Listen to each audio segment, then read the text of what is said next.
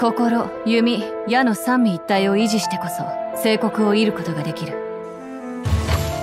聞こえたか？雷鳴は将軍様の意志だ。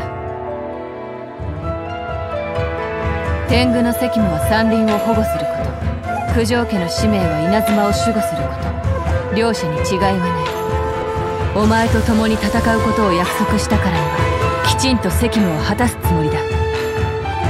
私が稲妻を永遠に守護し鳴神の意志を遂行するものだということだけを知っていればな神であろうと鬼であろうと敵であれば排除するのみ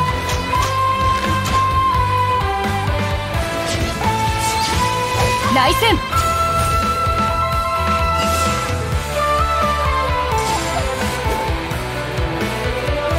天なる来光